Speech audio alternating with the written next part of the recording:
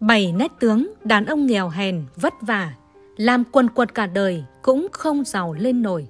Quý vị thân mến, có những người sinh ra đã mang số phận nghèo khổ, cho dù sống lương thiện, làm việc chăm chỉ, nhưng cái nghèo vẫn cứ luôn quanh quẩn trong cuộc sống của họ.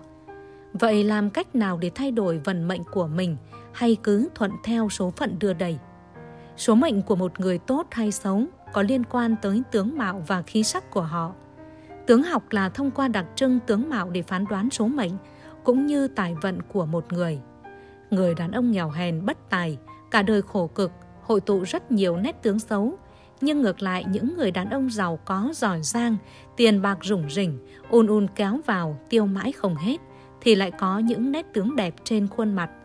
Vậy đâu là nét tướng của người đàn ông nghèo hèn, vất vả, lao tâm khổ tứ?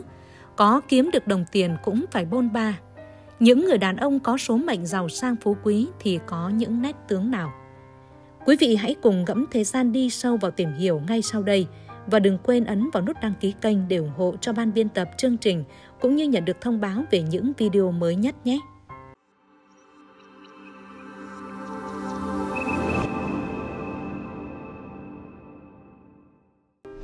Thứ nhất, đàn ông có cung quan lộc hiện nút ruồi hoặc bớt. Vị trí của cung quan lộc nằm ngay ở trung tâm điểm của trán. Bộ vị này có biệt danh là chính trung Ý nghĩa chính của cung quan lộc là cho phép phỏng đoán địa vị, chức nghiệp của cá nhân trong xã hội. Thời xưa, trong một xã hội quân chủ trọng chủ tước, người ta cho kẻ ra làm quan mới thật sự là kẻ có địa vị trong xã hội nên được hưởng bổng lộc.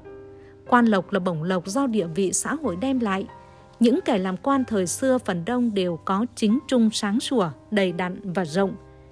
Theo quan niệm trên, các sách tướng học cổ điển như Ma Y tướng Pháp, Thủy Kinh Tập, Thần tướng Toàn Biên đều nhất loạt cho rằng kẻ có chính trung sáng sủa tốt đẹp phối hợp với toàn thể trán rộng rãi, sơn căn cao rộng thì suốt đời làm quan không bao giờ bị rắc rối, trắc trở đến mức phải đáo tụng đình.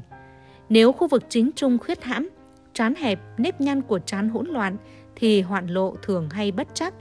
Nếu mặt lại tự nhiên không vì bệnh tật mà có những tia máu, lan khắp tròng trắng khiến cho người ngoài có cảm tưởng là mắt đỏ thì gần như chắc chắn là kẻ đó không chết thảm thì cũng bị tù đầy vì khoan hoạn. Mấy năm gần đây, chịu ảnh hưởng của Nhật Bản, một số tác giả đã tìm cách giải thích ý nghĩa của cung quan lộc theo đường lối tâm lý học.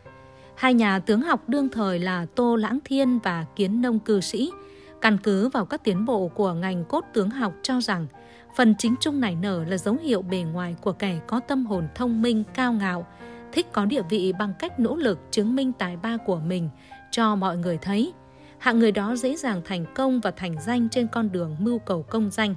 Nhất là thời xưa, sự tuyển lựa quan lại dựa vào tài năng và đức độ thực sự của chính cá nhân đó, như vua Nghiêu chọn ông Thuấn, vua Thuấn chọn ông Vũ vậy. Phần trung ương của trán không đặc biệt nổi rõ và đẹp nhưng không bị thấp lõm hoặc tì vết thì cũng có thể xếp vào loại cát tướng. Nếu như cung quan lộc hẹp thấp, có tì vết tự nhiên thì tâm hồn vốn đã không có ý tưởng phấn đấu, ý chí bạc nhược nên khó có thể thành đạt được mộng công danh. Do đó, cổ tướng học đã có lý khi nói rằng trung chính khuyết hãm thì quan lộc chẳng ra gì. Nếu quan lộc cao rộng sáng sủa là người thông minh, trí tuệ, minh mẫn và đạt được thành công lớn trong sự nghiệp – xem cùng quan lộc kết hợp với một số bộ phận khác để biết sự nghiệp có hanh thông, gặp thiên thời, địa lợi nhân hòa hay không. Một người nam giới nếu như trên phần cung quan lộc có một cái bớt đen hoặc nốt ruồi sẽ phá hủy vận may của người đó. Những người này cho dù có tài ba đến mấy, siêng năng chăm chỉ làm ăn ra sao, người đàn ông cũng không thể khấm khá. Bởi đây chính là một trong những nét tướng mặt đàn ông nghèo hèn, chị em nên cân nhắc khi lựa chọn vị hôn phu của đời mình. Bên cạnh đó thì những người có nét tướng này thường lận đận trong đường tình duyên, hôn nhân dễ bị đứt gánh giữa đường, về già cô độc lẻ bóng. Bên cạnh đó, nếu trên cung này có sắc khí đen, khuyên bạn nên cẩn thận trong kinh doanh buôn bán, tránh phá sản hoặc dính đến kiện tụng. Ngoài ra thì cần nâng cao sức khỏe để phòng bệnh tật, nên đi khám sức khỏe định kỳ để kịp thời phát hiện và chữa bệnh. Ngược lại nếu khí sắc này sáng sủa thì vận khí cực tốt, dễ thăng quan tiến chức, được hưởng cả phúc và lộc. Ngoài ra, người có cung quan lộc thấp lõm xuống thường không có động lực trong công việc, dễ bỏ dở giữa chừng. Vận mệnh của người này luôn chắc trở, thất bại nhiều hơn thành công. Thứ hai, đàn ông có ấn đường, nhiều nếp nhăn. Ấn đường là một trong những huyệt vị quan trọng trên cơ thể của con người. Huyệt ấn đường nằm ở chính giữa hai đầu lông mày và thẳng hàng với đường sống mũi. Ấn đường tuy không xuất hiện ở 12 đường kinh chính nhưng lại có tên trong hệ thống kỳ huyệt. Xét trên khía cạnh y học, các biểu hiện trên ấn đường giúp thầy thuốc đông y chẩn bệnh và phán đoán tình trạng sức khỏe của một người.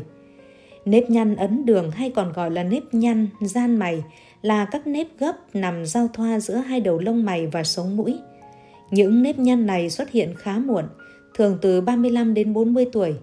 Đặc biệt khi chúng ta hoạt động cơ mặt nhiều, nếp nhăn sẽ hằn rất sâu và rõ nét. Mặc dù không ảnh hưởng tới sức khỏe, nhưng tổng thể khuôn mặt cũng như phong thủy sẽ bị ảnh hưởng. Trong nhân tướng học, khu vực ấn đường tượng trưng cho công danh tài lộc của người nam giới. Ấn đường nằm dưới, khoảng giữa hai lông mày chừng 1cm, là nơi tụ họp tinh khí nguyên thần của một người, phản ánh tính cách cơ bản của người đó. Ấn đường tốt nhất là vuông vức đầy đặn, chiều rộng từ một ngón rưỡi đến hai ngón tay. Một người nam nhân nếu như sở hữu ấn đường có nhiều nếp nhăn hay bị lông mày che khuất, lòng dạ hẹp hòi, lúc nào cũng rơi vào cảnh thiếu thốn tiền bạc bởi vận tài lộc chẳng có là bao, cả đời cũng khó làm nên chuyện gì to tát. Cho dù bản thân có nhiều tham vọng cũng chẳng thể biến chúng trở thành hiện thực, chỉ đành than thân trách vận số kiếp kém may mắn mà thôi. Người đàn ông sở hữu kiểu ấn đường này thường có gia cảnh bần hàn hoặc cha mẹ phải đi làm ăn xa, bôn ba tứ phương. Người này có tính cầu thả, dễ nóng này, hay cáu gắt và khó kiềm chế được cảm xúc của bản thân. Cuộc sống của họ gặp nhiều khó khăn vất vả và đến khoảng trên dưới 30 tuổi, họ khó tránh khỏi họa. Nhưng nếu tâm lý vững chắc thì có thể vượt qua được. Đặc biệt nếu nếp nhăn càng ngoằn nghèo, hằn sâu thì số mệnh của những người này càng xấu. Ngoài ra, nếu như khu vực ấn đường đang sáng bừng rạng rỡ mà chuyển sang màu đen tối biểu hiện cho việc chủ nhân không có tiếng nói, thực lực lẫn uy quyền trong vận trình sự nghiệp, dù rằng họ vẫn có đủ thực lực và khả năng tương xứng với công việc.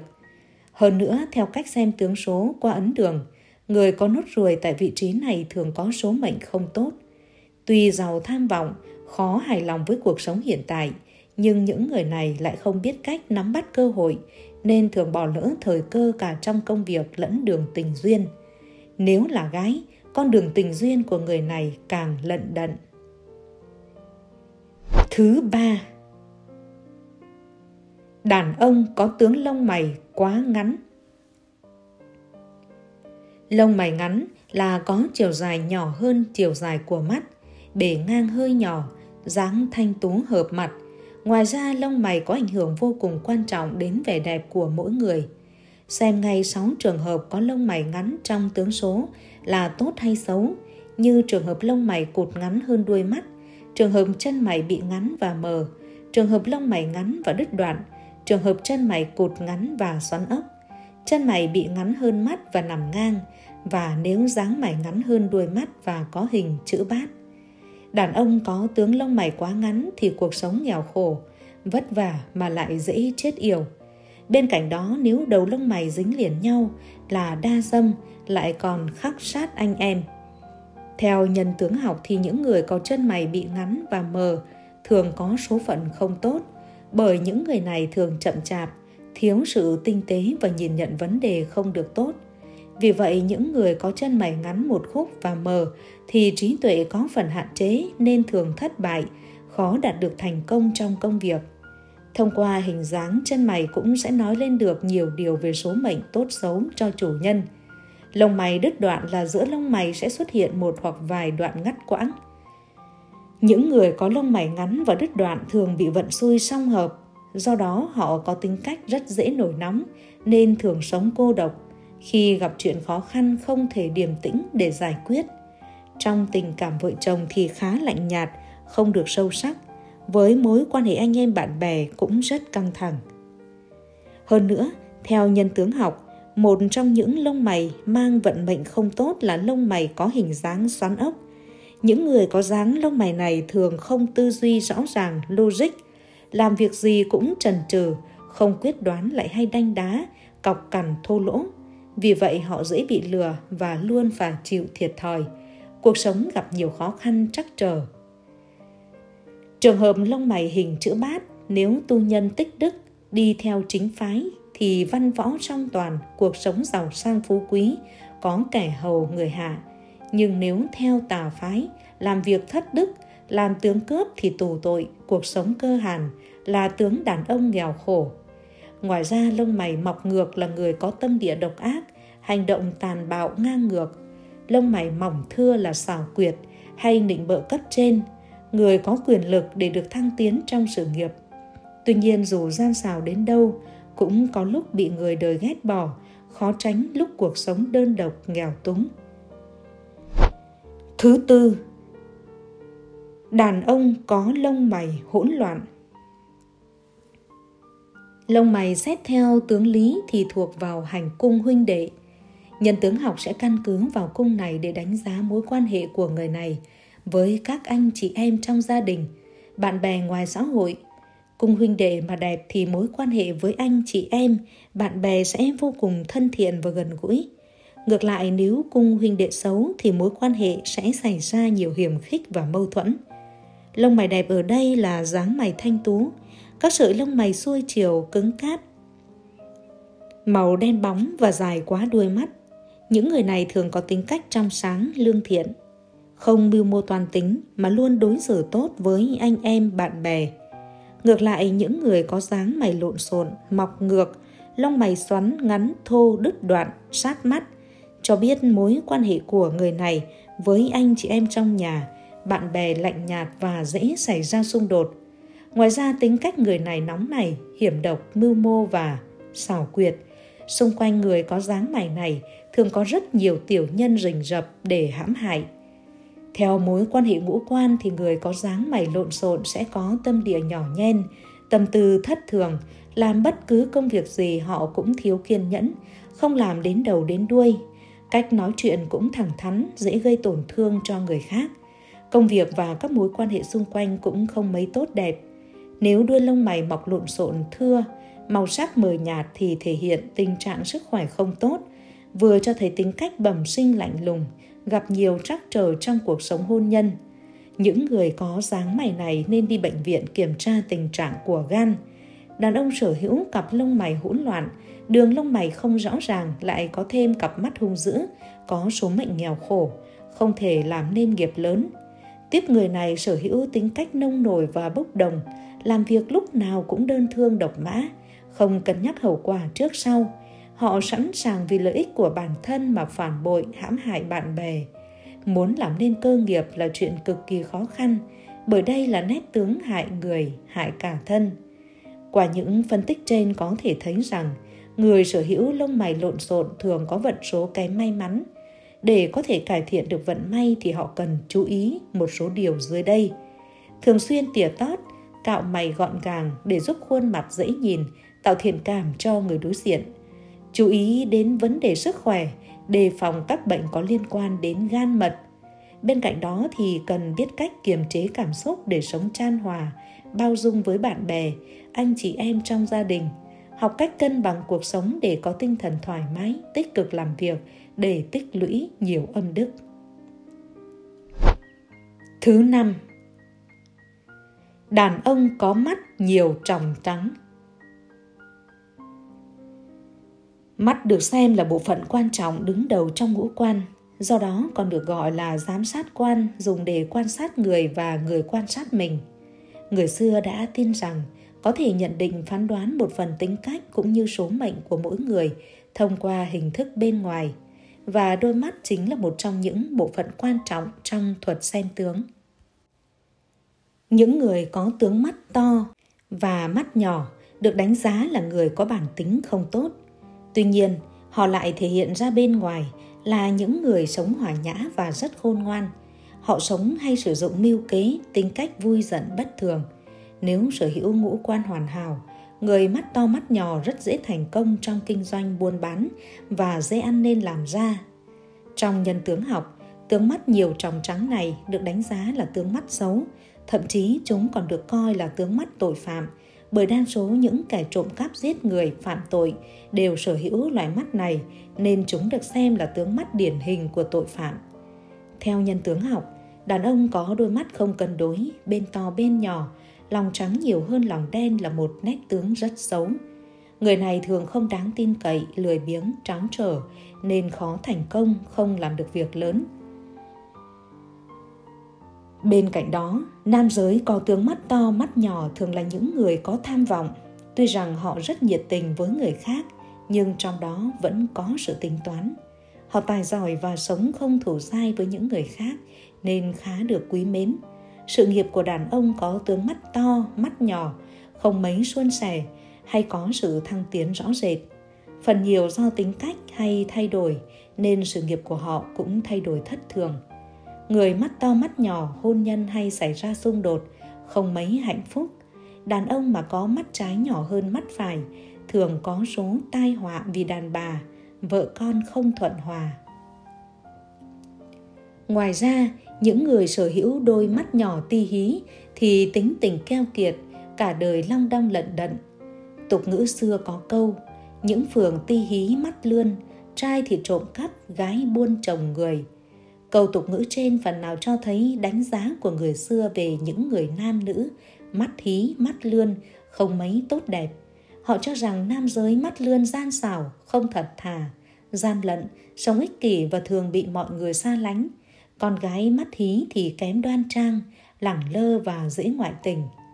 Muốn thay đổi vận mệnh thì đàn ông cần phải biết nhược điểm của mình ở đâu, từ đó có cách khắc phục.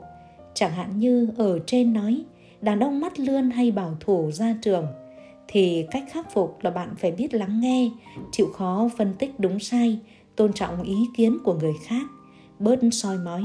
Có như vậy thì mối quan hệ tình yêu, đồng nghiệp và mọi người xung quanh cũng sẽ tốt hơn rất nhiều. Thứ sáu, đàn ông có dáng mũi thấp, hách lên. Người xưa thường cho rằng mũi tẹt là dáng mũi không tốt cho phong thủy, ảnh hưởng đến tài vận của người sở hữu. Những người sở hữu chiếc mũi này thường sẽ ăn phần thủ thường. Đặc biệt, họ thường dễ bị lừa gạt về tiền bạc và rất nóng này. Tâm trạng luôn trong trạng thái lo lắng căng thẳng, vì vậy mà rất dễ sinh bệnh. Đàn ông sở hữu nét tướng này là nét tướng tiểu nhân, sống chi ly tính toán, do đó mà cuộc sống nghèo khó cơ cực. Xem tướng người mũi thấp hách lên, nếu không biết cách nắm giữ cơ hội hiếm hoi mới có được thì họ sẽ phải mất rất nhiều thời gian để đạt được những bước thăng tiến như mọi người. Điều này càng thể hiện rõ ràng trong vận trình sự nghiệp của đàn ông sở hữu tướng mũi này. Thăng quan tiến chức chậm chạp, công việc thì lẹt đẹt, có lòng muốn làm việc thật tốt nhưng lại không gặp thời thế, không được nâng đỡ, nên uổng phí tài năng trong những công việc không thực sự phù hợp với mình. Ngoài ra, tiếp người này tâm không chính thường lợi dụng sự thông minh láo cá của mình để lừa người khác.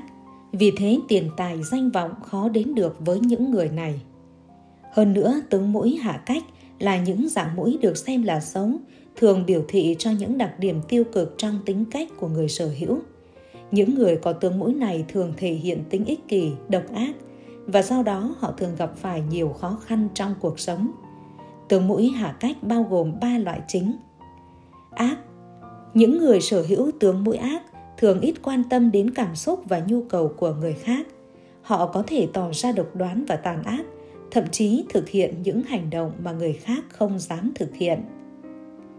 Bần Tướng mũi bần thường thể hiện cuộc sống khắc khổ, đầy khó khăn và thiếu may mắn. Họ thường gặp phải nhiều rắc rối, thất bại và không thể đạt được thành công trong cuộc sống, khiến họ phải trải qua thời kỳ khó khăn và nghèo hèn. Tiện Người đàn ông có tướng mũi tiện thường sống ích kỷ, bẩn tiện và luôn tính toán từng chút một. Họ thường không quan tâm đến người khác và tập trung vào lợi ích cá nhân, khiến cho mối quan hệ và cuộc sống xã hội của họ trở nên khó khăn. Thứ bảy Đàn ông có dái tai nhỏ Tướng tai nhỏ là khi nhìn chính diện gương mặt của một người rất khó để nhìn thấy tai hoặc chỉ nhìn thấy một chút. Khi nhìn nghiêng, thấy kích thước của tai nhỏ hơn nhiều phần đầu, không có sự cân đối. Những người có tai nhỏ thì phần dái tai cũng khá mỏng. Khi nhìn vào dái tai là người ta có thể biết được người đó có số phú quý hay không. Những người mang tướng mệnh đàn ông nghèo khó sẽ có giái tai rất nhỏ. Đây là những người khá nhút nhát, thiếu dũng khí, không dám làm việc lớn. Chính vì thế mà công danh của họ không phát triển được, có kiếm được tiền thì cũng không đáng kể. Hơn nữa lại phải bôn ba, lao tâm khổ tứ vất vả. Tướng đàn ông nghèo hèn này cũng là người hay lo lắng, luôn phiền muộn và sợ hãi nhiều thứ. Tất nhiên là không ai muốn có một trụ cột gia đình như vậy rồi. Vì vậy chị em phụ nữ hãy cẩn thận. Về tính cách, nam giới có tai nhỏ là người khép kín, sống nội tâm, ít giao tiếp và mở rộng mối quan hệ. Do đó xung quanh họ chủ yếu toàn người thân ruột thịt. Những người này cũng rất ít khi bộc lộ cảm xúc của mình ra bên ngoài nên khá khó hiểu. Về sự nghiệp, đàn ông ta nhỏ thường tự ti nên nhiều lúc làm mất đi cơ hội vươn lên trong sự nghiệp. Họ có điểm mạnh về viết lách hội họa, nếu biết cách phát triển thì sẽ có sự thành công nhất định. Chuyện tình cảm của những người này cũng gặp nhiều thử thách nên họ thường kết hôn khá muộn. Nam giới sở hữu tai nhỏ có tính cách khép kín và đề phòng nên ít tiếp xúc và nên duyên với các cô gái. Ngoài ra tai nhỏ và dái tai mỏng là nét tướng của người dễ lận đận chuyện tình duyên. Họ thường phải trải qua thử thách trong chuyện tình cảm thì mới tiến đến hôn nhân. Tướng tai bé, sơn căn hẹp là tướng của người bị nhiều thiệt thòi trong cuộc sống và họ có xu hướng chịu đựng. Tai nhỏ và mắt to là nét tướng của người khó quản lý, cất giữ tiền bạc. Tướng tai nhỏ và mũi to là người phải gánh vác nhiều trách nhiệm trong cuộc sống, đôi khi khiến họ bị đè nén và áp lực. Tai nhỏ lại nghiêng, không có dái tay, vành tay gập thì được gọi là tai chuột. Người có tướng tay chuột khó gây thiện cảm với người khác, dễ gây thị phi và bị xa lánh. Tai bé và vành tai cao hơn mắt là nét tướng của người thường xuyên nghĩ ngợi, lo lắng thái quá, tai nhỏ lại cao thấp không bằng nhau là nét tướng của người phải trải qua nhiều thử thách, thăng trầm trong cuộc sống. Thưa quý vị, người xưa có câu, tướng mạo do tâm sinh. Sau 40 tuổi, nếu để tướng mạo do gen quy định, bạn thực sự thất bại không thể cứu vãn rồi. Dù bề ngoài có thu hút cỡ nào đi nữa, tính cách của một người là rất khó thay đổi. Và trải qua theo bao tháng năm thăng trầm, nó hình thành nên giá trị của một người. Lincoln từng nói thế này, khi một người bước qua tuổi 40, anh ta phải có trách nhiệm với vẻ ngoài của mình. Trước tuổi 40, ngoại hình của chúng ta do gen di truyền, đó là quy luật tự nhiên. Nhưng sau 40 tuổi, kinh nghiệm và tâm lý mỗi người khác nhau dẫn đến ngoại hình và khí chất cũng thay đổi rất nhiều. Khí chất được thể hiện trên khuôn mặt và hành vi ở một mức độ nhất định nó còn phản ánh tính cách những người hay cao có và trông có vẻ căng thẳng thường rất dễ mất bình tĩnh. Những người thân thiện thường mỉm cười tự nhiên, tạo cho người đối diện cảm giác ấm áp. Ông bà xưa có câu, tướng mạo do tâm sinh, người có gương mặt phúc hậu hiền hòa, thường là những người có nhân phẩm tốt, lương thiện. Dù là người bình thường, lớn lên không xinh đẹp đi nữa, chỉ cần tâm tốt, lòng nhân hậu người khác cũng sẽ cảm thấy dễ chịu rất nhiều khi tiếp xúc với họ. Coco Chanel từng nói, khuôn mặt tuổi 20 trời sinh, khuôn mặt 30 do cuộc sống khắc ghi, nhưng khuôn mặt tuổi 50 là do chính bạn lựa chọn. Có một câu nói rất hay, cuốn sách bạn đã đọc, những người bạn đã yêu và con đường bạn đã đi đều ẩn giấu trên khuôn mặt bạn. Tại sao xã hội càng hiện đại, nhiều người lại càng muốn đi phẫu thuật thẩm mỹ Suy cho cùng, ai cũng yêu cái đẹp và họ cho rằng thẩm mỹ có thể làm cho ngoại hình của họ trở nên xinh đẹp. Nhưng dù bề ngoài có thu hút cỡ nào đi nữa, tính cách một người là rất khó thay đổi và trải qua bao năm tháng thăng trầm, nó hình thành nên giá trị của một người. Giống như những đôi giày da có kiểu dáng giống hệt nhau, mang trên những đôi chân khác nhau sẽ hiển hiện lên những hình ảnh, đường nét khác nhau. Vẻ ngoài chỉ là một tấm vải mỏng manh, nó giúp bạn kiếm được nhiều cơ hội nhất thời, nhưng không phải cả đời. Ngược lại thì trí tuệ mới là thứ quyết định con đường lâu dài sau này của mỗi chúng ta. Khi bạn đau buồn, sẽ sản sinh ra những nếp nhăn. Khi bạn vui vẻ, gương mặt sẽ bừng sáng điểm hạnh phúc cho nên mới nói chỉ có sự rạng rỡ từ tận đáy lòng mới có thể nuôi dưỡng được vẻ đẹp bên ngoài lâu dài. Nhà văn Bisumin từng nói, dao mổ của bác sĩ phẫu thuật thẩm mỹ không thể đấu nổi với hai con dao ngoài xã hội. Một con dao mang tên thời gian, nó sẽ cuốn trôi tác dụng của thẩm mỹ, giống như tuyết rơi khi gặp nắng xuân sẽ dần tan biến. Một con dao nữa mang tên tâm hồn, chỉ có ánh sáng từ trái tim, mới nuôi dưỡng được sự hài lòng lâu dài. Trong cuộc sống sẽ luôn có một hiện tượng như vậy. Lần đầu tiên nhìn thấy cảnh đẹp, ai cũng sẽ trầm trồ khen ngợi. Nhưng về lâu dài, họ lại chẳng còn hứng thú với nó nữa. Ngược lại, có những cô gái trông vẻ ngoài khá bình thường, nhưng càng tiếp xúc lâu, người ta lại càng thích và thấy họ thật đẹp. Nguyên nhân của hiện tượng này đa phần là do tướng mạo của người đó đã hòa vào cùng với khí chất, khiến người khác càng nhìn, càng thấy như bị thu hút. Người hiền lành dễ gần sẽ khiến cho đối phương có cảm giác thoải mái. Những kẻ hung dữ, tầm xấu xa sẽ gây cảm giác khó chịu và khiến chúng ta muốn tránh xa. Ngay cả bác sĩ phẫu thuật thẩm mỹ cũng từng nói, tác dụng của phẫu thuật thẩm mỹ không phải là làm một lần hưởng lợi mãi mãi, mà vẫn phải nhờ sự thay đổi từ tâm những lời nói, thói quen và cảm xúc hàng ngày mà chúng ta coi là nhỏ nhặt, tầm thường sẽ ảnh hưởng trực tiếp đến khí chất của chúng ta sau này. Trong sách lễ ký có ghi, người có lòng yêu thương sẽ có tính tình hiền từ. Người hiền từ sẽ dễ nhận được niềm vui. Người luôn vui vẻ, tích cực sẽ có dung mạo xinh đẹp, dịu dàng. Sự thay đổi trong lối suy nghĩ của một người sẽ làm thay đổi cả hành vi và ngoại hình. Chúng ta thường nói đất lành chim đậu. Người ăn ở hiền lành cũng như vậy, dễ nhận được phước báo hơn. Trái tim là sự phản ánh của ngoại cảnh, còn ngoại hình chính là mặt tiền. Đa số chúng ta đều phản ánh cảm xúc rõ rệt nhất trên gương mặt. Nhiều người chỉ quan tâm đến việc làm thế nào để bản thân trở nên đẹp hơn, mà quên mất một điều thực tế. Người thông minh thực sự sẽ trau dồi cả vẻ đẹp tâm hồn lẫn bên ngoài, có trí tuệ đồng hành dung mạo mới không dễ tàn phai. Một nghiên cứu của Đại học Harvard cho thấy mức độ tinh thần của một người càng cao, tâm lý càng khỏe mạnh, nội tâm càng lương thiện sẽ không dễ dàng vì cái nhìn của người khác mà làm thay đổi bản tính của mình.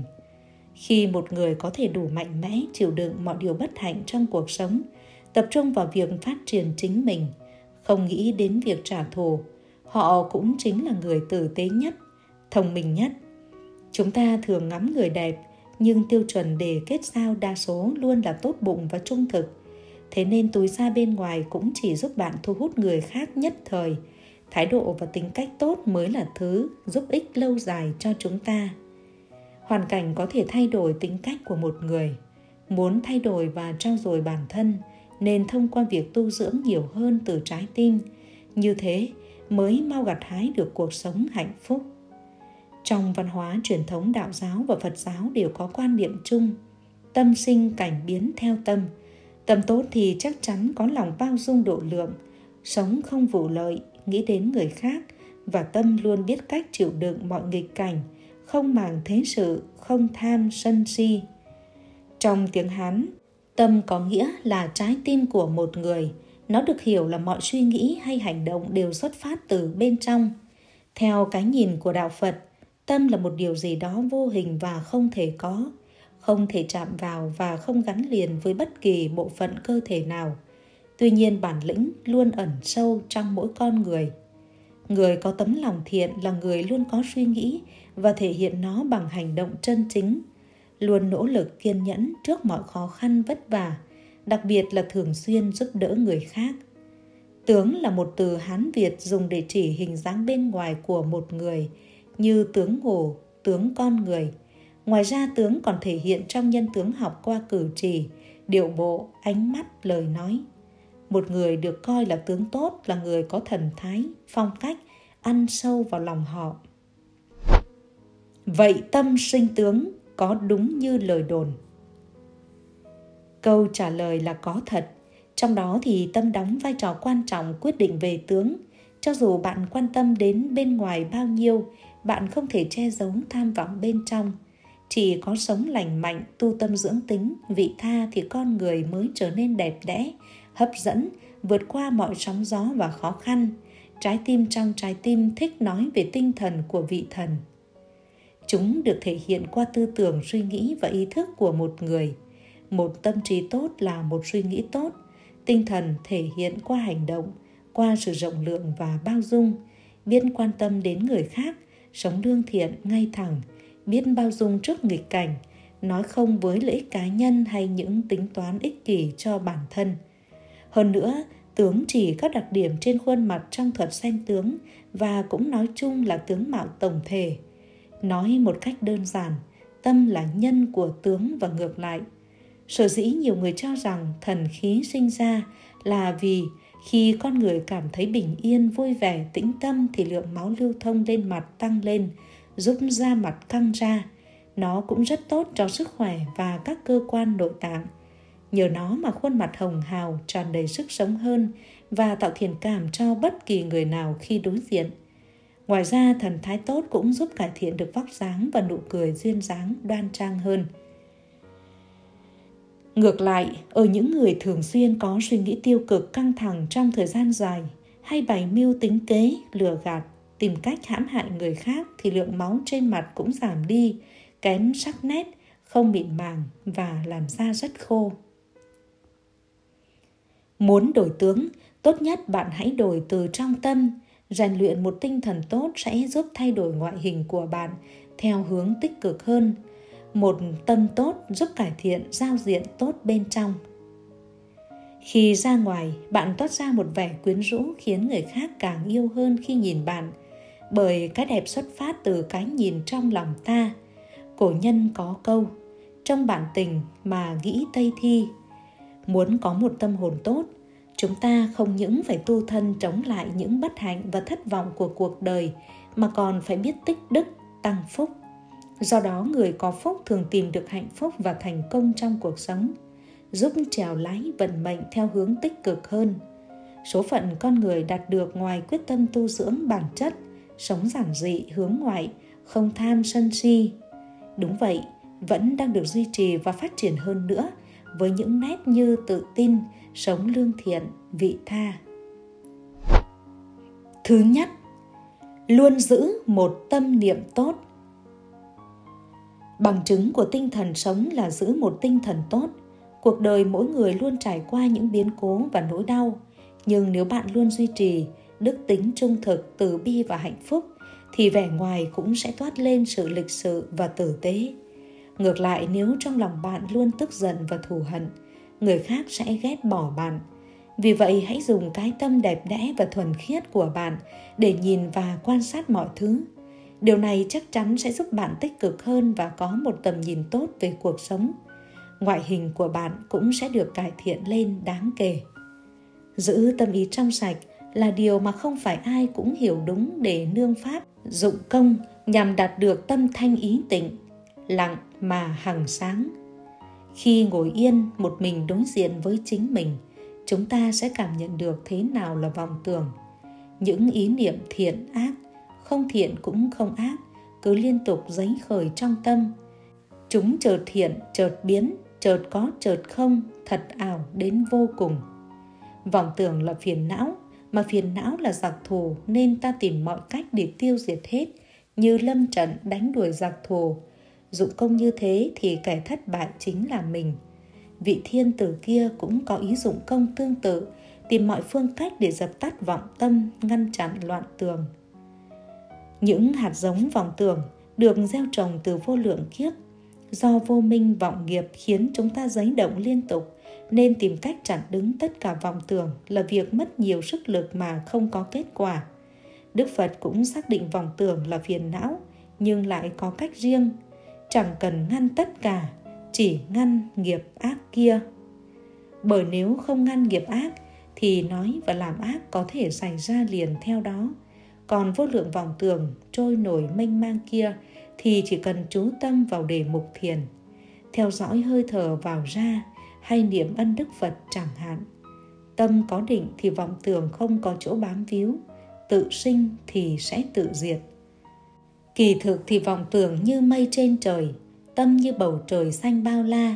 Mây chợt hiện ra rồi tự nó tan biến, còn bầu trời thì vẫn trong xanh như thế từ bao giờ thế nên những tâm ý trong sạch chính là giữ tâm tránh niệm và tỉnh giác. Lặng mà biết, tịch mà chiếu, có định có tuệ chứ không phải ra sức đánh đuổi vọng tưởng. Thứ hai, biết nói lời cảm ơn. Biết nói lời cảm ơn là người đáng quý nhất. Thế nên bạn cũng cần phải học cách cảm ơn đối với mọi người để tâm sinh tướng đôi khi chỉ cần lời cảm ơn cũng làm bạn thấy vui cả ngày và cuộc sống thêm phần ý nghĩa hơn. Đôi khi bạn nói lời cảm ơn như một thói quen và chính bạn cũng không biết rằng đó là một món quà có ý nghĩa lớn trong cuộc sống thường nhật.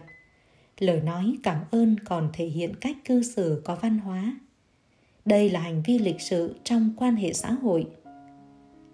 Trong mối quan hệ với cộng đồng nói lời cảm ơn đồng nghĩa với việc bạn có ý thức về giá trị của bản thân, tôn trọng người khác và biết quý trọng sự giúp đỡ của người khác hay không. Đây là biểu hiện của một lối sống có văn hóa và giàu ý thức tự trọng. Trong xã hội, người làm nghề phục vụ luôn tự ti về địa vị thấp kém. Nếu bạn còn rải rúng coi thường họ, thì họ sẽ càng thu mình lại hoặc sẵn sàng rủ lông như một cách để tự bảo vệ mình trong giao tiếp tuy nhiên, nếu bạn tiếp xúc với họ bằng tình cảm chân thành, bạn nói lời cảm ơn vì những việc họ làm, họ sẽ cảm thấy yêu hơn công việc của mình, tự tin mạnh dạn hơn, chủ động hơn. Đó chính là giá trị từ lời cảm ơn của bạn. Không đơn thuần là nghệ thuật giao tiếp, lời cảm ơn còn biểu lộ nhân cách, nhận thức của mỗi người trong ứng xử với mọi người. Bạn đừng chỉ nói lời cảm ơn với những việc lớn mà quên nói lời cảm ơn đối với những việc nhỏ. Đừng chỉ nói lời cảm ơn với những người có địa vị xã hội, mà quên nói lời cảm ơn chân thành tới những người yếu thế trong xã hội. Đừng chỉ nói lời cảm ơn với những điều mình nhận được, mà lắm lúc cũng phải cảm ơn vì những điều đã mất đi. Lời nói chẳng mất tiền mua, vậy nên hãy tạo cho mình thói quen nói lời cảm ơn một cách phù hợp và nhất là phải chân thành có như thế, cuộc sống này sẽ trở nên đẹp đẽ hơn. Vì vậy, chúng ta hãy luôn nói lời cảm ơn từ sâu bên trong tâm để biết ơn người đã giúp đỡ mình. Họ sẽ cảm thấy bạn xinh đẹp và ấm áp lạ thường khi nhìn vào bạn. Thứ ba, luôn nở nụ cười. Mỉm cười giống như một chiếc băng dán cá nhân tuy có thể che được vết thương nhưng đau đớn thì vẫn ở nguyên đó. Tôi là một người thường xuyên cười, nhưng không phải là người thường xuyên vui vẻ. Cuộc sống vốn có nhiều khó khăn, có nhiều bộn bề và mệt mỏi, nhưng đôi khi chỉ cần một nụ cười vui vẻ, ta có thể tạm quên đi những muộn phiền đó. Một nụ cười bằng 10 thang thuốc bổ. Trên thực tế, nụ cười là liều thuốc tốt cho quá trình hoạt động của cơ thể và tâm trí nó giống như một bông hoa đẹp trên trái đất, đắt tiền. Vì vậy, hãy thường xuyên mỉm cười để mọi người có thể nhìn thấy và cảm nhận được niềm hạnh phúc của bạn. Không những thế, khi bạn cười, bạn còn thể hiện sự chân thành, đánh giá cao người khác. Một trái tim đẹp giúp mang lại niềm vui hạnh phúc và vẻ ngoài xinh đẹp trong mắt những người xung quanh. Chúng ta hãy cảm ơn vì chưa có tất cả những thứ mình mong muốn. Vì nếu bạn có nó rồi thì không còn gì để bạn chờ đợi và hy vọng. Hy vọng là thứ rất tuyệt diệu. Hy vọng cong xoắn, thỉnh thoảng nó khuất đi, nhưng hiếm khi nó tan vỡ. Hy vọng duy trì cuộc sống của chúng ta mà không có gì có thể thay thế được. Hy vọng cho chúng ta có thể tiếp tục, cho chúng ta can đảm để đi về phía trước. Khi chúng ta tự nhủ là mình sắp bỏ cuộc. Thứ tư có niềm tin đối với phật pháp Đức Phật là bậc giác ngộ với đầy đủ phước đức và trí tuệ. Ngài có tấm lòng từ bi rộng lớn đối với tất cả chúng sinh. Ngài không chỉ tìm kiếm giải thoát cho riêng mình mà còn chỉ dạy người khác phương pháp thực hành tu tập để được giải thoát theo. Ngài có đủ khả năng giúp người khác hiểu rõ, thực chứng điều đó. Nói vậy không có nghĩa là Đức Phật có thể ban cho người khác sự giác ngộ. Ngài chỉ có thể chỉ dạy cho chúng sinh thấy một con đường và những ai muốn được giác ngộ thì phải tự mình bước đi trên con đường đó. Không ai có thể làm được việc ấy giúp mình cả. Người có tâm hướng Phật sẽ luôn tu tâm một cách tốt nhất. Từ đó vẻ ngoài của bạn trở nên thanh lịch, chỉn chu và cá tính hơn bởi đạo Phật là nơi giảng dạy Ngoài ra, người hướng về đạo Phật sẽ luôn tin vào luật nhân quả, làm việc thiện sẽ gặp phúc lành, làm việc xấu sẽ bị trừng phạt. Vì vậy họ sẽ luôn tích cực làm việc thiện, giúp đỡ người khó khăn bằng tấm lòng chân thành và tận tụy nhất. Ngay khi bạn làm điều đó, vẻ ngoài của bạn sẽ càng trở nên thân thiện và vui vẻ hơn, đồng đều hơn. Thứ năm, biết kiềm chế, nhẫn nhịn Nói đến thuật nhìn người thần thái thì phải kiên nhẫn. Một người biết kiên nhẫn sẽ luôn tìm ra cách để giải quyết mọi việc rõ ràng và nhanh chóng. Trong đạo Phật, chữ vị thường được nói với người phi pháp, người hạnh phúc và người giận dữ là chỉ những người xấu xí vì họ luôn tức giận và thù hận. Thay vào đó, người đạo đức khuôn mặt hiền lành, tay chân trắng trẻo, mềm mại vì họ đã tu, học tu nhẫn nhục và có được điều đó một điều nhịn là chín điều lành. Nhẫn ở đây được hiểu là làm hài hòa, bình tĩnh, chứ không phải chấp nhận sự nhục nhã. Là cả một nghệ thuật ứng xử khéo léo, đòi hỏi sự tính toán bằng lý trí, chứ không thể quy đổi ra tình cảm. Bạn sẽ cảm thấy nhẫn nhịn kiềm chế cơn giận dữ trong người không phải là điều dễ dàng. Nhưng bạn nên nhớ rằng nhẫn nhịn là phương thức chìa khóa của người chiến thắng thành công thường chỉ xuất hiện trong đời sau khi bạn đã nhẫn lại, kìm nén những nỗi thống khổ mà người thường không thể chịu đựng được. Nhẫn nhịn là một phép tắc nên học theo của con người. Nhờ vào nhẫn nhịn, con người có thể hoàn thiện các đức tính khác của bản thân, cải thiện bản thân, nâng cao năng suất và chất lượng công việc. Thứ sáu, kết bạn với những người tâm tốt. Kết bạn với nhiều người lương thiện cũng là một yếu tố giúp tinh thần sống tốt. Gần mực thì đen, gần đèn thì sáng. Đây là câu nói từ xa xưa. Vì vậy khi xung quanh bạn là những người có tinh thần lương thiện thì lẽ tự nhiên là tinh thần của bạn cũng sẽ được thanh lọc. Một môi trường lành mạnh, hài hòa và hỗ trợ sẽ khiến chúng ta hạnh phúc hơn. Quý vị thân mến, tướng mạo của con người có thể thay đổi khi tâm thay đổi – một người có thể trở nên hung dữ, đáng sợ nếu tâm của họ ngày càng gian ác xấu xa. Đồng thời, người có vẻ ngoài dữ tợn sẽ dần hiền từ và phúc hậu nếu tâm của họ ngày càng lương thiện và bao dung. Tầm tôn có thể sẽ cải thiện tướng mạo bên ngoài, thần thái tự nhiên, vui vẻ cũng giúp tạo ra nét hấp dẫn, thu hút những người xung quanh. Cái đẹp không chỉ là ở vẻ ngoài mà còn toát ra từ trong tâm mọi người sẽ cảm nhận được điều này khi tiếp xúc và sẵn sàng yêu thương giúp đỡ người có tâm. Đừng vì vẻ bề ngoài mà đánh giá một người quá vội vàng. Cần cảm nhận bằng cái tâm bên trong mỗi người để thấy được điều tốt đẹp hơn cả ngoại hình. Đàn ông ôm giữ năm thứ này trong tay, đau ốm liên miên, ba đời nghèo khổ, làm hoài cũng không ngóc đầu lên được. Quý vị thân mến, người xưa có câu, nếu muốn họ sẽ tìm cách nếu không muốn, họ sẽ tìm lý do. Đàn ông thông minh dù hoàn cảnh có khó khăn, dù phải sinh ra trong một gia đình không có điều kiện vật chất, không được học hành bài bản, họ đều có cách để cải thiện cuộc sống. Họ không cần chứng minh rằng có bằng cấp đại học, giáo sư tiến sĩ, mà họ sẽ chứng minh cho gia đình vợ con và xã hội khả năng của mình bằng thực tế, bằng hành động, chứ không phải là khua môi múa mép. Tôi muốn làm nhưng hoàn cảnh không cho phép vì thế dưới đây là 5 điều đàn ông nghèo luôn nắm giữ trong tay, đàn ông khôn ngoan thì luôn tránh xa. Hãy cùng ngẫm thế gian lắng nghe và chiêm nghiệm ngay sau đây. Thứ nhất, hấp tấp. Người ta thường nói nếu bạn muốn làm việc lớn, hãy suy nghĩ trước khi hành động. Điều này có nghĩa là bạn cần dành thời gian để xem xét mọi khía cạnh của vấn đề trước khi đưa ra quyết định và hành động. Một người đàn ông thành công thường biết rằng việc lên kế hoạch và chuẩn bị kỹ càng trước khi bắt tay vào công việc sẽ giúp họ tối ưu hóa khả năng thành công và giảm thiểu rủi ro. Họ không hấp tấp mà thay vào đó họ đầu tư thời gian và tâm huyết để tìm hiểu rõ vấn đề, đặt ra các kế hoạch chi tiết và xác định rõ mục tiêu. Một ví dụ cụ thể có thể là một doanh nhân đang xem xét một cơ hội kinh doanh mới, thay vì đưa ra quyết định ngay lập tức, anh ta dành thời gian để nghiên cứu thị trường, phân tích tiềm năng, lợi nhuận và rủi ro và thậm chí tìm hiểu về cách các đối thủ cạnh tranh hoạt động. Sau khi đã thu thập đủ thông tin, anh ta sẽ đưa ra quyết định cân nhắc và có kế hoạch cụ thể để thực hiện ý tưởng kinh doanh. Ngược lại, những người hấp tấp thường không có sự chuẩn bị kỹ lưỡng và không dành thời gian để suy nghĩ sâu về việc họ đang làm.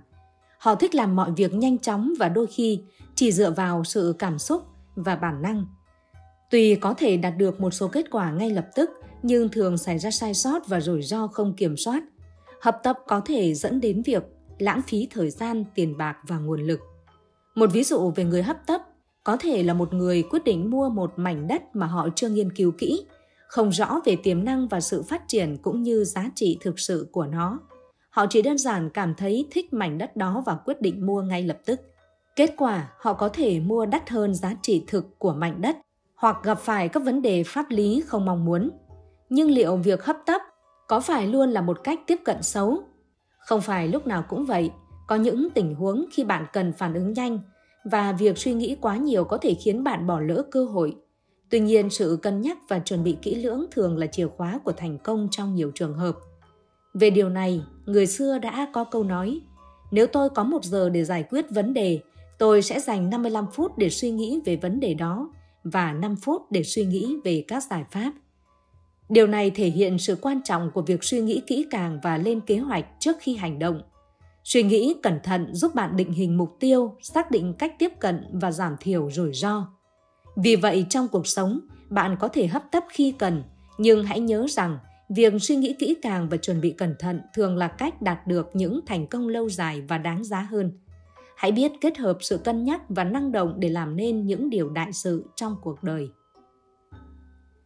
Thứ hai, do dự. Sự do dự đôi khi có thể trở thành kẻ thù tàn độc của sự thành công, đặc biệt là đối với những người đàn ông tham vọng, những người mà quyết tâm xây dựng nên tương lai mà họ mơ ước. Khả năng ra quyết định dứt khoát có thể là một trong những yếu tố quyết định giữa thành công và thất bại. Có lẽ ai cũng đã từng trải qua những khoảnh khắc của sự do dự.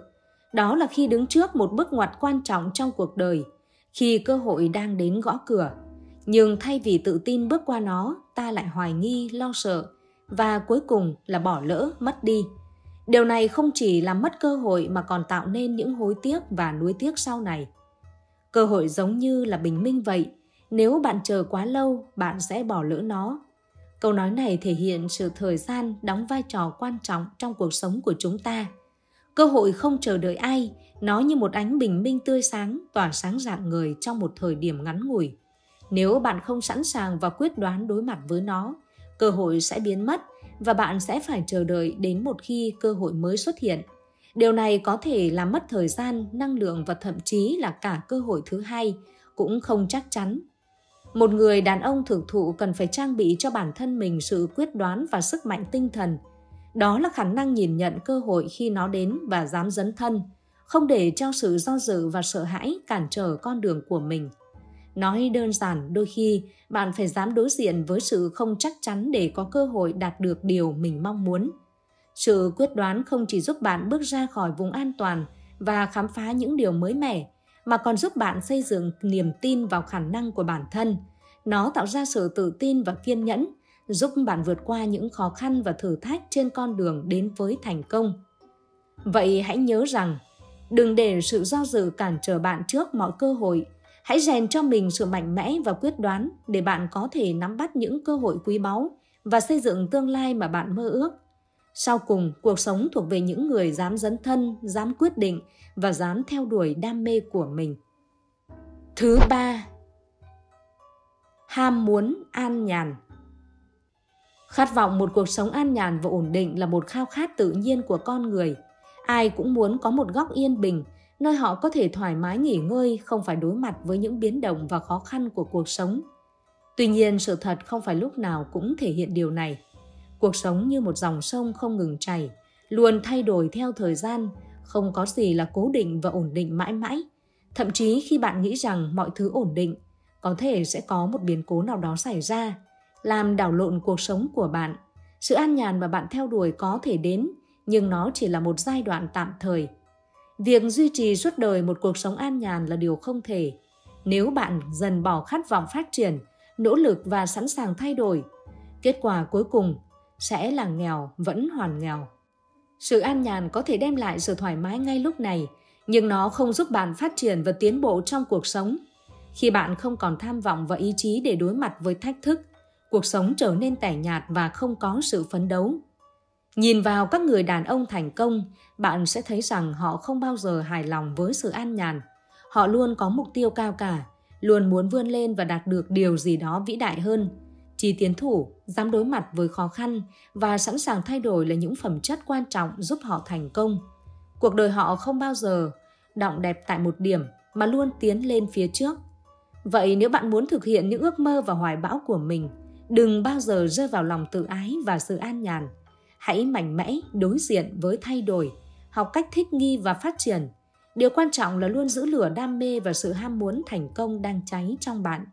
Đừng bao giờ ngừng học hỏi nỗ lực và luôn thúc đẩy bản thân mình để vươn tới những mục tiêu cao cả. Cuộc đời là hành trình không ngừng và chỉ có bằng sự nỗ lực và dũng cảm bạn mới có thể đạt được điều bạn mơ ước. Thứ tư suy nghĩ thiền cận suy nghĩ thiển cận có thể là một trở ngại lớn đối với việc đạt được thành công và giàu có trong cuộc sống những người mắc phải tư duy này tập trung quá nhiều vào lợi ích ngay trước mắt mà họ có thể thu được. Họ áp đặt tầm nhìn ngắn hạn và chỉ tập trung vào những vấn đề nhỏ nhặt. Mục tiêu của họ thường xoay quanh việc tìm cách tiết kiệm, tăng thu nhập ngay lúc này và tránh mọi rủi ro. Tuy nhiên, sự suy nghĩ thiển cận có thể giới hạn tiềm năng của họ. Khi bạn chỉ tập trung vào những lợi ích ngay trước mắt, bạn có thể bỏ lỡ những cơ hội lớn hơn và bền vững trong tương lai. Cuộc sống và kinh doanh không phải lúc nào cũng chỉ xoay quanh việc tiết kiệm và giữ lại một ít tiền mặt Thay vì nắm giữ quá cẩn thận, bạn cũng cần phải biết đầu tư và mạo hiểm để có cơ hội tạo ra giá trị lớn hơn. Người đàn ông tham vọng và muốn trở nên giàu có thực sự cần có một tầm nhìn rộng lớn. Họ cần biết nhìn xa trước, hiểu được xu hướng và cơ hội trong tương lai, thay vì cứ mãi là một con ếch ngồi đáy giếng. Họ cần biết đặt mục tiêu cao cả và tìm cách tiến lên phía trước. Họ không sợ mạo hiểm khi cần, vì họ hiểu rằng đôi khi để có được điều lớn lao, bạn phải dám đối diện với rủi ro. Không chỉ là việc mở rộng tầm nhìn về tài chính, mà còn về cuộc sống nói chung. Người giàu có thực sự không chỉ tập trung vào việc tích trữ tiền bạc, mà còn biết đầu tư thời gian và năng lượng vào việc xây dựng mối quan hệ, phát triển kỹ năng và tạo ra giá trị cho cộng đồng. Họ nhận ra rằng đời sống của họ không chỉ là về số tiền trong tài khoản, mà còn là về sự đóng góp và thừa nhận giá trị của sự thay đổi tích cực bởi vậy để trở thành người giàu có thực sự, hãy xem xét cách suy nghĩ và tầm nhìn của bạn. Hãy tìm cách mở rộng suy nghĩ, đặt ra mục tiêu lớn hơn và đánh bại suy nghĩ thiển cận. Chỉ khi bạn dám nhìn xa trông rộng, bạn mới có cơ hội tiến lên và đạt được những điều lớn lao trong cuộc sống. Thứ năm, sĩ diện hão. Sĩ diện hay việc quá chú trọng đến thể diện và danh vọng cá nhân có thể gây ra nhiều vấn đề trong mối quan hệ hôn nhân – Đàn ông sĩ diện thường đặt bản thân lên trên hết và họ có thể dễ dàng trở nên tự cao và kiêu ngạo. Họ có thể quát tháo vợ con, xem thường người khác và tạo ra một môi trường gia đình đầy căng thẳng và xung đột. Nếu phụ nữ chọn kết hôn với một người đàn ông có cái tôi quá cao, họ có thể phải đối mặt với việc bị xem thường và không được đối xử công bằng. Điều này có thể tạo ra một cảm giác tự trọng thấp và không hạnh phúc trong mối quan hệ. Hôn nhân cần sự cộng tác, tôn trọng lẫn nhau và khả năng thấu hiểu, tha thứ. Khi một người luôn đặt bản thân lên trên và xem thường người khác, mối quan hệ sẽ dễ dàng trở nên không cân bằng và căng thẳng. Hôn nhân cần sự hiểu biết và sẵn sàng đặt lợi ích của cả hai lên hàng đầu. Không phải lúc nào bạn cũng đúng và không phải lúc nào bạn cũng cần đặt sĩ diện và danh vọng cá nhân lên trên hết.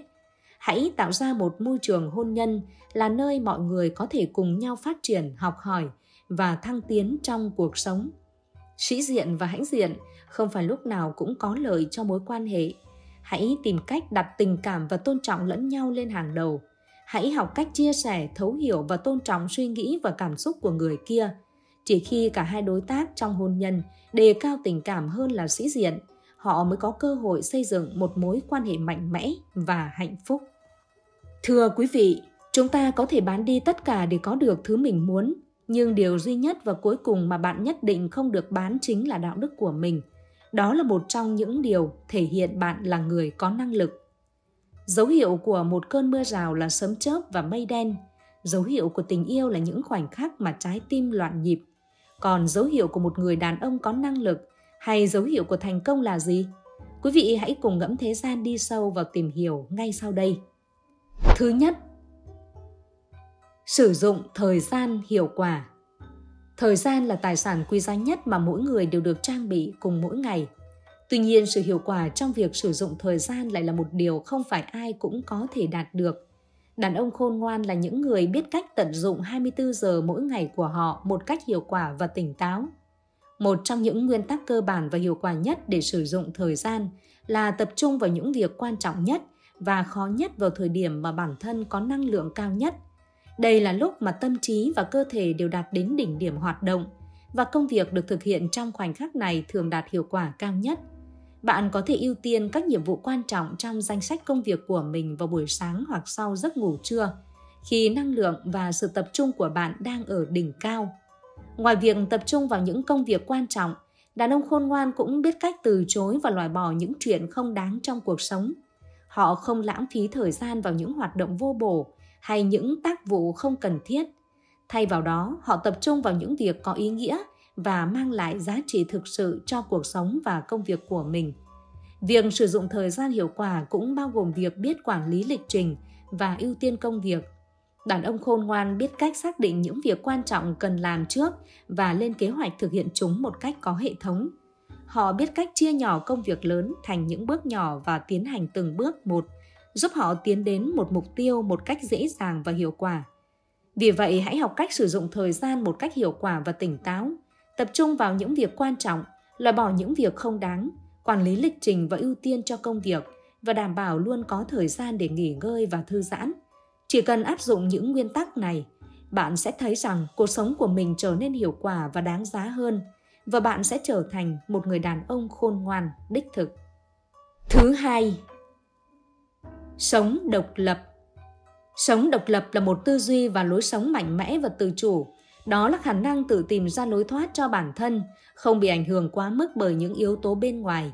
Sống độc lập không chỉ đơn thuần là tự nuôi sống bản thân, vật chất mà còn là tự biết cho mình động lực và cảm hứng để tiến lên phía trước. Trong cuộc sống, chúng ta sẽ phải đối mặt với nhiều thử thách và khó khăn.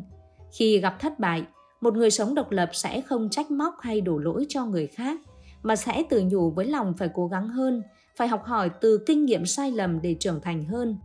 Họ sẽ không nằm đó u sầu và chờ đợi người khác đến động viên, mà sẽ tự thúc đẩy bản thân đi tiếp. Sống độc lập là biết cách xây dựng lòng tự tin và sự tự tin vào khả năng của mình, không phụ thuộc vào ý kiến và đánh giá của người khác – mà dựa vào sự đánh giá chính xác về bản thân. Họ biết rằng mọi chuyện không bao giờ sẽ ổn nếu không có sự nỗ lực và hành động từ bản thân. Sống độc lập không đồng nghĩa với cô đơn hay tự cô lập, đó là khả năng tự lựa chọn và tự quyết định về cuộc sống của mình. Sống độc lập là biết sống chấp nhận thất bại và biết đứng lên sau mỗi trận đánh mạnh mẽ hơn. Đó là niềm tin vào khả năng của bản thân và khao khát tự mình xây dựng tương lai mà mình mong muốn. Hãy sống độc lập và tự chủ.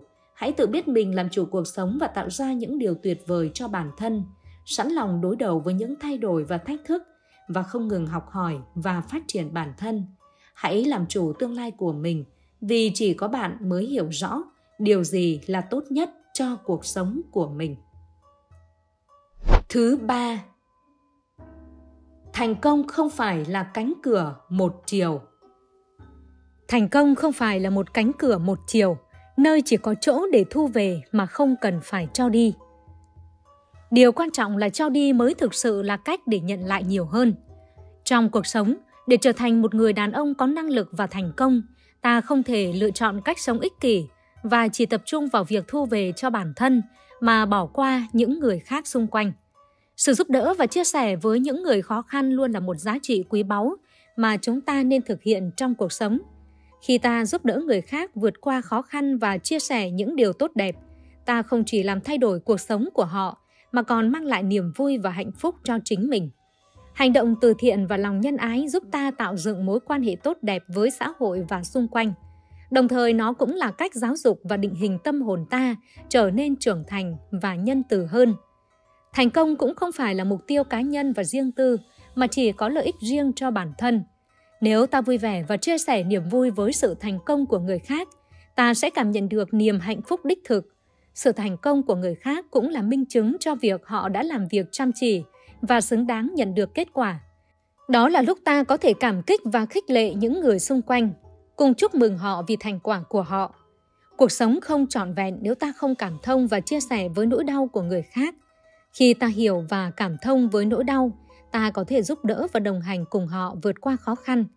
Đôi khi chỉ cần một lời chia sẻ, một cái ôm hoặc một đôi tai lắng nghe là đã đủ giúp người khác cảm thấy an ủi và tin tưởng vào cuộc sống hơn. Vì vậy hãy nhớ rằng thành công không chỉ là việc thu về và nhận lợi ích cho bản thân mà còn là cách chúng ta đồng hành cùng nhau trong cuộc sống. Hãy cho đi và chia sẻ niềm vui, hạnh phúc và lòng nhân ái với những người xung quanh. Hãy đồng hành và cảm thông với nỗi đau của người khác.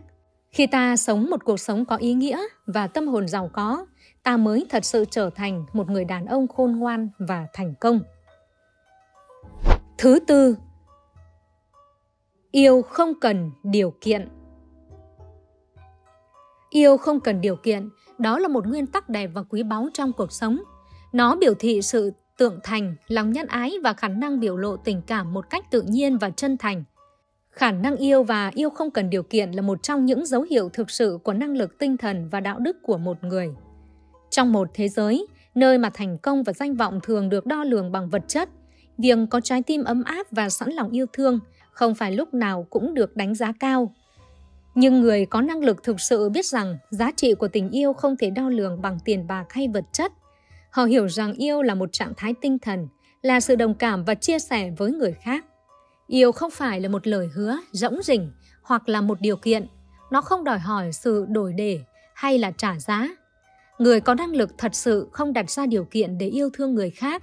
Họ yêu vì lòng chân thành, vì sự tương cảm và vì sẵn lòng giúp đỡ và chia sẻ. Đàn ông có năng lực thật sự biết cách yêu thương và quan tâm đến người thân yêu. Họ không chỉ tập trung vào ngoại hình hay thành tựu vật chất, mà còn chăm sóc tâm hồn và tình cảm của những người xung quanh. Họ biết cách thể hiện tình cảm bằng hành động, không chỉ bằng lời nói. Yêu không cần điều kiện cũng không đòi hỏi một quyền lợi. Người có năng lực thật sự luôn sẵn lòng đối mặt với khó khăn và thử thách để bảo vệ và chăm sóc những người mà họ yêu thương. Họ hiểu rằng yêu là không ngừng cố gắng để tạo nên một môi trường tốt cho những người thân yêu, là sẵn sàng đặt họ lên hàng đầu trong quá trình đưa ra quyết định. Năng lực thực sự không chỉ nằm ở việc đạt được thành tựu vượt bậc và vật chất mà còn ẩn chứa trong khả năng yêu thương và chia sẻ. Đó là sức mạnh trong tâm hồn, là khả năng biến những điều đơn giản thành những khoảnh khắc đáng quý và ý nghĩa. Yêu không cần điều kiện, không cần đánh đổi, chỉ cần chân thành và sẵn lòng. Đó chính là điểm đẹp và quý báu nhất của con người, và đó cũng chính là dấu hiệu của sự năng lực thực sự. Thứ năm, khao khát học những điều mới. Cuộc sống là một cuộc hành trình không ngừng nghỉ, và trong hành trình đó, điều quan trọng là chúng ta không bao giờ ngừng khao khát học hỏi những điều mới mẻ. Bất kể chúng ta là ai, chúng ta luôn có thể học hỏi và cải thiện bản thân mình. Sự khao khát học hỏi và tò mò là một yếu tố quan trọng trong việc phát triển bản thân. Cổ nhân đã khuyến khích chúng ta hãy cứ khao khát, hãy cứ dại khờ. Điều này ám chỉ rằng chúng ta nên luôn giữ trí tò mò, không bao giờ tự mãn và chấp nhận sự không biết. Hãy hướng đến việc học hỏi và khám phá những điều mới mẻ. Chúng ta nên hỏi những điều chưa biết để tìm kiếm sự hiểu biết và mở rộng kiến thức. Đừng ngại ngần để hỏi và tìm hiểu. Không có gì xấu hổ khi chúng ta không biết điều gì đó. Thậm chí việc hỏi và tìm hiểu mới là cách để chúng ta tiến bộ và phát triển. Để học hỏi và cải thiện bản thân, chúng ta cần hạ cái tôi thấp xuống và lắng nghe người khác. Đừng tự mãn và cho rằng mình biết hết mọi thứ, luôn đặt mình vào tình thế người khác, lắng nghe ý kiến của họ và chấp nhận những góp ý phê bình xây dựng. Đặt câu hỏi tại sao là một phần quan trọng trong việc học hỏi. Hãy luôn tự đặt câu hỏi và tìm hiểu ngay khi trong đầu có những thắc mắc. Đừng để chúng động lại mà không được giải đáp. Đó là cách để chúng ta khám phá và hiểu sâu hơn về thế giới xung quanh. Học hỏi và khao khát điều mới là cách để chúng ta không bao giờ ngừng phát triển và tiến bộ trong cuộc sống. Nếu ta giữ trí tò mò, luôn đặt câu hỏi và học hỏi từ những người xung quanh, ta sẽ trở nên thông thái và thành công hơn trong mọi lĩnh vực. Và điều quan trọng nhất, hãy nhớ rằng học hỏi là một cuộc hành trình vô tận, không bao giờ có điểm dừng. Thứ sáu, sẵn sàng buông bỏ. Chúng ta hay nói với nhau rằng đừng bao giờ từ bỏ. Câu ấy đúng, ai cũng biết và ai cũng nên cố gắng ít nhất 3 lần trước khi từ bỏ. Nhưng có lẽ vế sau nhiều người chưa nghe. Hãy sẵn sàng từ bỏ. Việc sẵn sàng buông bỏ cũng là một trong những khía cạnh quan trọng của cuộc sống. Thật tốt khi chúng ta cố gắng không từ bỏ quá dễ dàng, nhưng cũng đáng quý khi biết lúc nào nên buông tay để tìm kiếm những cơ hội mới và định hướng tích cực hơn. Buông bỏ không có nghĩa là thất bại, mà đôi khi đó chính là cách để giải phóng bản thân khỏi những gánh nặng không cần thiết và tạo không gian cho sự phát triển và tiến bước mới. Đôi khi chúng ta dừng lại để tự hỏi, liệu điều mà chúng ta đang theo đuổi có thực sự phù hợp với mục tiêu và giấc mơ của mình hay không? Sẵn lòng buông bỏ là sẵn lòng chấp nhận thất bại để tìm đến thành công mới. Đó là việc thông minh và quan trọng để không bị rơi vào vòng xoáy của sự kiên nhẫn, đến mức khiến ta trở nên mù quáng và không thể nhận ra những cơ hội tốt hơn. Để thành công và tiến xa hơn, chúng ta phải sẵn lòng buông bỏ những điều không đem lại giá trị thực sự cho cuộc sống của mình.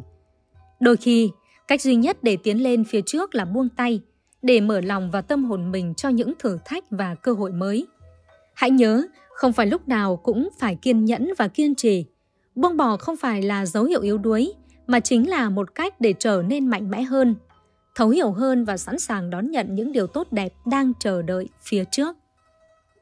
Thứ bảy Không bán rẻ đạo đức Trong cuộc sống, chúng ta thường đối diện với sự đánh đổi và thỏa hiệp để đạt được những thứ mà chúng ta mong muốn. Tuy nhiên, có một điều không bao giờ đánh đổi hay là bán rẻ, đó chính là đạo đức của mỗi người. Đạo đức đóng vai trò quan trọng trong cuộc sống của chúng ta. Nó là nền tảng vững chắc của con người và xác định phẩm chất và nhân phẩm của mỗi người. Đạo đức không phải là một khái niệm trừu tượng, nó bao gồm các nguyên tắc và giá trị mà ta tuân thủ và áp dụng trong cuộc sống hàng ngày. Nó là lời hứa với chính mình, là hành động dựa trên sự tôn trọng và đạo lý. Đạo đức là một phần không thể thiếu của bản ngã con người và không thể đánh đổi nó bằng bất kỳ lợi ích tạm thời nào. Khi chúng ta mất đi đạo đức, chúng ta mất đi một phần quan trọng của bản thân. Đạo đức giúp chúng ta duy trì tính chân thật và tử tế. Nó là nguồn sức mạnh tinh thần giúp chúng ta đối mặt với thách thức và khó khăn trong cuộc sống. Đạo đức là điểm mấu chốt để xác định ai chúng ta thực sự là. Mất đạo đức có thể biến chúng ta trở thành những người vô trách nhiệm và không tôn trọng nguyên tắc. Chúng ta có thể trở nên ích kỷ và chỉ quan tâm đến lợi ích cá nhân mà không quan tâm đến những giá trị đạo đức. Điều này có thể gây ra sự hủy hoại trong quan hệ với người khác và cả xã hội. Hãy gìn giữ và đề cao đạo đức của mình đó là tài sản quý báu mà không thể thay thế bằng bất kỳ thứ gì khác. Đừng bao giờ đánh đổi hay bán rẻ đạo đức của mình để đạt được lợi ích cá nhân tạm thời.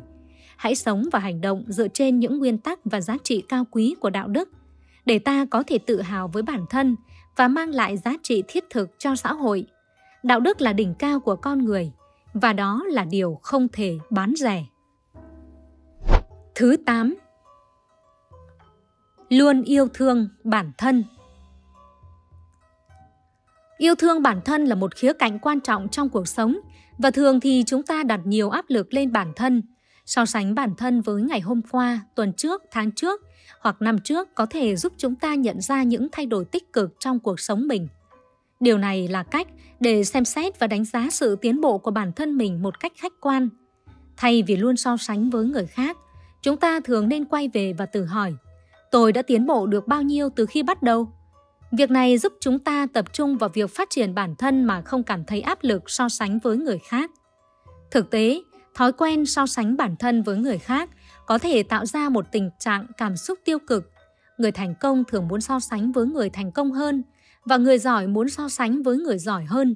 Điều này dẫn đến sự không hài lòng với chính bản thân và cảm giác thiếu tự tin. Chính vì vậy, việc so sánh bản thân là cách tốt nhất để chúng ta đánh giá tiến bộ và cảm thấy hài lòng với sự phát triển của mình. Mỗi ngày chúng ta có cơ hội để trở nên tốt hơn, học hỏi những kinh nghiệm và phát triển kỹ năng mới. Điều này không nhất thiết phải nhanh chóng, vì mỗi người đều có thời gian và tiến độ riêng. Khi bạn bắt đầu theo dõi và hài lòng với sự tiến bộ của mình, bạn trở nên tự tin hơn và không còn áp lực so sánh với người khác. Bạn hiểu rằng bạn đang đi trên con đường của riêng mình và sự tiến bộ của bạn là một quá trình cá nhân và không thể so sánh trực tiếp với người khác. Điều quan trọng là bạn đang đi đúng hướng và không ngừng phát triển. Hãy nhớ rằng cuộc sống là một hành trình và sự tiến bộ của bạn không phải lúc nào cũng đo đếm được bằng thành công vượt bậc. Đôi khi nó xuất phát từ việc học hỏi từ những sai lầm, đối mặt với thách thức và trưởng thành qua mỗi kinh nghiệm. Yêu thương bản thân, tôn trọng quá trình phát triển của mình và hãy biết rằng bạn đang làm điều tốt cho bản thân mình, không cần phải so sánh với người khác. Quý vị thân mến, sống trong xã hội ngày nay, đa số đàn ông đều nỗ lực hết mình để đảm bảo cuộc sống gia đình và tương lai cho con cái. Tuy nhiên, quá quan trọng việc kiếm tiền, một số người đã biết giữ lại một thứ quý báu hơn cả và không thể đánh đổi bằng bất kỳ khoản tiền nào. Đó chính là đạo lực và giá trị cá nhân. Đạo đức, phẩm chất và những giá trị đích thực là những thứ quý báu mà chúng ta nên giữ cho bản thân và truyền đạt cho thế hệ kế tiếp. Nó không chỉ là một hành trang tinh thần quý giá, mà còn là nền tảng để xây dựng một cuộc sống đáng sống và tạo ra giá trị thiết thực cho xã hội. Vì vậy, dù trong cuộc sống có bao nhiêu khó khăn và thách thức, hãy luôn giữ vững đạo đức và giá trị cá nhân. Đó chính là nguồn động viên và sức mạnh để vượt qua mọi khó khăn. Cái quý báu nhất trong cuộc sống không phải là túi tiền mà là lòng tử tế, lòng nhân ái và lòng kiên nhẫn. Đó mới thực sự là điều cực thấm mà chúng ta nên mang theo trong hành trình đời. Cuối chương trình, xin kính chúc quý vị thành công và vui vẻ trên hành trình cuộc đời mình. Chân thành cảm ơn quý vị đã luôn đồng hành và theo dõi. Quý vị hãy đăng ký kênh Ngẫm Thế Gian để ủng hộ thêm cho ban biên tập chương trình và được lắng nghe thêm nhiều lời dạy bổ ích và triết lý cuộc sống. Thời lượng chương trình đến đây là kết thúc.